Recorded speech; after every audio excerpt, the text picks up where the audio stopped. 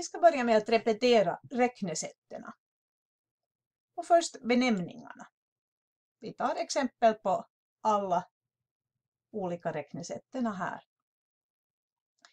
Då man adderar och subtraherar så kallas talen som man subtraherar eller adderar för termer.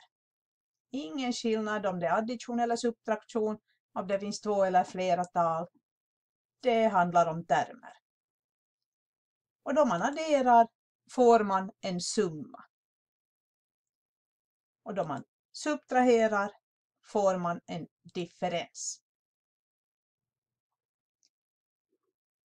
Vid multiplikation kallas talen man multiplicerar för faktorer. Jag har här faktorn 8 gånger faktorn 3. Och resultatet blir då en produkt. Division är det besvärligaste räknesättet för där har de där två talen man dividerar olika benämningar. Det första talet kallas för täljare och det andra talet för nämnare. Samma ord som vi använder i bråk. Och resultatet blir här en kvot. Så som för sammanfattning, term plus term blir en summa. Term minus term blir en differens. Faktor gånger faktor ger en produkt och täljare dividerat med nämnare ger en kvot. Vi ska ta och gå igenom alla räknesätten, i vilka situationer man använder dem och vad de egentligen betyder. Om vi som exempel i addition har 5 plus 2 är lika med 7. Så finns det två sådana situationer när man gör en sån här addition. Det ena är att man har så att säga en hög med 5 och en annan hög med 2 och så slår man ihop dem. Och då har man tillsammans sju.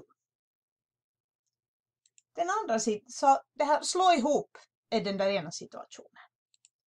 Den andra är att man börjar med att ha bara fem. De två syns ingenstans.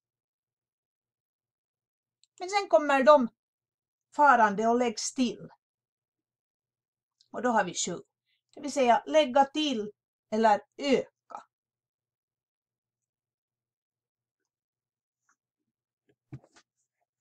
Så skillnaden på de här är att i den där första fallet så har man både de där fem och de där två från början och så slår man ihop dem i en hög. Jämfört med den andra situationen när man börjar med bara de där fem och de två kommer till helt utifrån så att säga.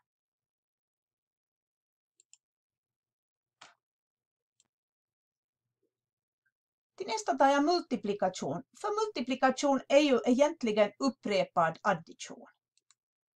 Så tar vi till exempel 3 gånger 5 är lika med 15. Så kan vi tänka det här både som slå ihop och lägga till.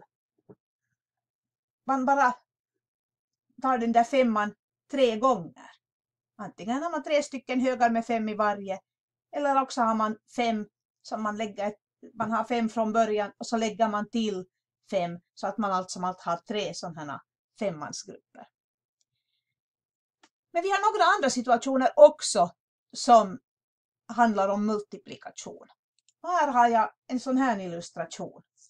Flickan där är fem år och pojken är 15 år. Då är pojken fem, tre gånger så gammal. Så vi får det där tre gånger fem för att han är tre gånger så gammal. Eller ett liknande exempel här med de här två hundarna. Den stora hunden är tre gånger så stor, så tung som den lilla. Så det här med att det är så, så många gånger mera, så det handlar också om, om multiplikation. Vi har ju ordet gånger där. Ett annat exempel som ger multiplikation handlar om arean av en rektangel. Så jag har här en, en rektangel med, med sidorna 3 och 5. Laga, gör, ritar jag in de här rutorna där så ser jag att jag har tre rader med fem i varje. Så den där arean av den där rektangeln blir 3 gånger 5.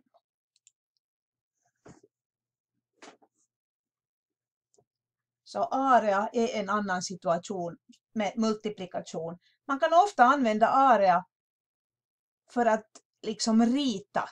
Om man vill, vill ha en bild som, som visar den där multiplikationen, då är area ofta väldigt lämpligt. Sen har jag subtraktion. Jag har som exempel här 20 minus 3 är lika med 4. Också här finns två situationer som är sådana självklara subtraktionssituationer. Den ena är det att vi börjar med att ha tre ursäkta, vi börjar med att ha sju knappar. Här har jag som exempel. Så tar vi bort tre och då har vi fyra kvar. Så ta bort är den där, tror jag, den situationen som man först kommer att tänka på när man hör subtraktion. Men här har vi en illustration av en annan situation eh, där vi använder subtraktion. Den ena pojken kommer där på cykel, han har sju kilometers väg till skolan.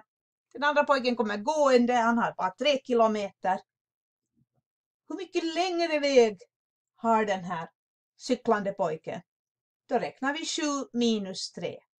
Det är för att få fram skillnaden mellan två tal. Då vi jämför två tal, då subtraherar vi också. Och det är viktigt att komma ihåg att det också är, är subtraktion. Sen har vi division som är kanske den knepigaste av, av de här räknesätten. Eh, också här finns ju två olika situationer när vi dividerar. Vi har som exempel här 6 delat med 2 är lika med 3. Och då den vanliga divisionen är det som kallas fördelningsdivision. Och då betyder det att vi har sex knappar där. De ska delas i två högar och kvoten är då antalet knappar i varje hög. Det är lite det här standardexemplet. Om två barn delar på sex karameller får de tre var. Det är den vanliga divisionen. Men sen har vi en sån situation att vi har beslutat att vi sätter två i varje hög. Och då blir kvoten hur många högar får vi? Så om jag beslutar att jag ska ha två i varje hög, då börjar jag lägga två i varje hög så långt det räcker.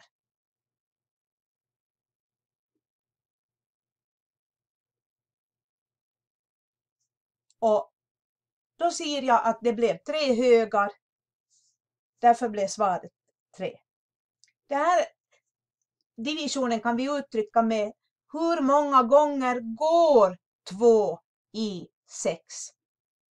Så man uttrycker hela divisionen med andra ord. Sex, vi kan ha, det här 6 dividerat med 2 kan betyda 6 delat med 2 eller hur många gånger går 2 i 6.